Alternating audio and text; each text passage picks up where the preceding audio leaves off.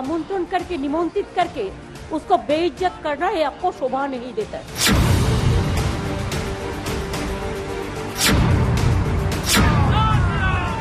जय श्री राम या भारत माता की जय। इस देश में अगर गाली है तो फिर उन्हें सोचना चाहिए कि किस देश में रहना है। अरे सीता जी से अलग राम हो सकते हैं क्या? जय सिया राम का नारा क्यों नहीं लगाते आरएसएस बीजेपी लोग? अभी इंसल्ट उन्होंने भगवान राम का किया है हिंदू धर्म का संस्कृति का किया है মুখ্যমন্ত্রীকে ডিস্টার্ব করা এটা আমাদের পশ্চিমবঙ্গকে অসম্মান করা किसी के दबाव में मत रहिए राम बोलिए अगर राम बोलने से आप चूकेंगी तो आपका जय श्री राम हो जाएगा मैं तो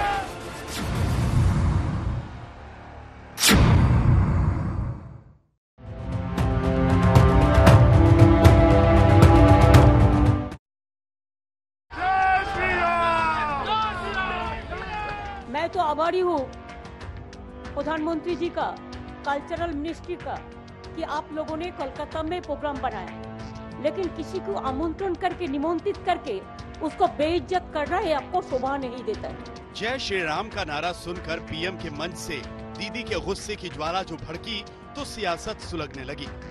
बीजेपी ने पूछा जय श्री राम के नाम से क्यों होता है ममता का अपमान?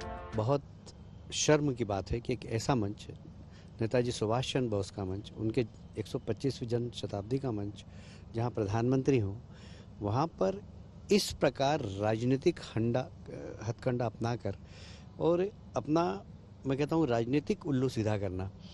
ममता जी से कोई सीखे मैं उनके इस कृत्य की निंदा करता हूँ। और जय श्री राम या भारत माता की जय इस देश में अगर गाली है तो फिर उन्हें सोचना चाहिए कि किस देश में रहना है। हैं। जय श्री राम के नारे पर दीदी की नाराजगी है तो बीजेपी के सवाल हैं दूसरी ओर तृणमूल कांग्रेस का बवाल है ওটা কোনো একটা ধর্মীয় সভা ছিল না ওটা সম্পূর্ণভাবে একটা অন্য সভা ছিল এবং আহ, সেখানে ওইভাবে মুখ্যমন্ত্রীকে ডিস্টার্ব করা এটা আমাদের পশ্চিমবঙ্গকে অসম্মান করা देखिए ये तो होना नहीं चाहिए था किसी ने कोई स्लोगन दे दिया तो ये भी नहीं होना चाहिए था और ये इग्नोर कर लेना चाहिए मुख्यमंत्री हैं ये कोई स्ट्रीट नेता नहीं है। ये सब इग्नोर करना चाहिए और एक मुख्यमंत्री की जो गरिमा है उसको इनको पूरा करना चाहिए था। जय श्री राम का नारा बीजेपी की सियासत के केंद्र में रहा है और अब बंगाल की चुनावी सियासत के भी केंद्र में है।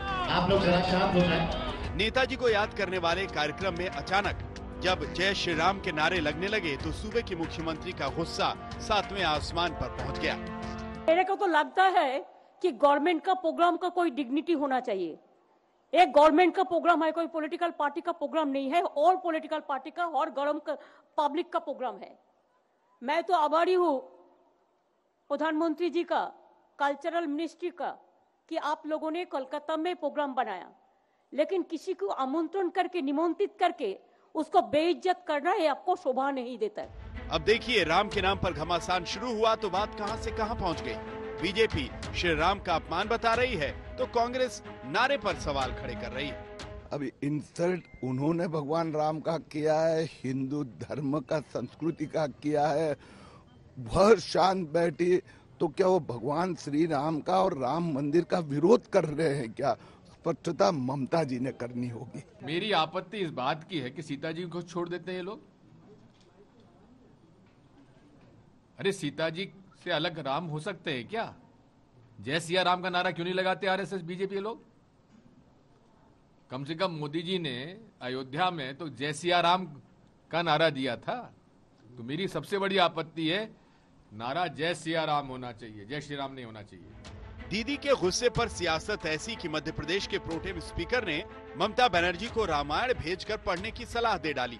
मैं उम्मीद करता हूँ कि मैं मर्यादा पुरुषोत्तम राम की ये किताब संविधानिक बाबा साहब अंबेडकर के संविधान में रचित, लिखित राम, जो देश के संविधानिक पुरुष भी हैं, उनकी ये किताब रामचरित मानस ममता दीदी को भेज रहा हूँ। उम्मीद करता हूँ दीदी इसको पढ़ेंगी और सबके सुख दुख की चिंता करेंगी। और जय श्री राम फक्र और गर्व के साथ बोलेंगी। शनिवार को विक्टोरिया हॉल के कार्यक्रम में जो कुछ हुआ, उसका अंदाज़ा बीजेपी को शायद नहीं रहा होगा। लेकिन बंगाल की सत्ता पर काबिज होने की कोशिश कर रही बीजेपी को, दीदी के गुस्से ने एक धारदार हथियार थमा दिया है। आज तक ब्यूरो।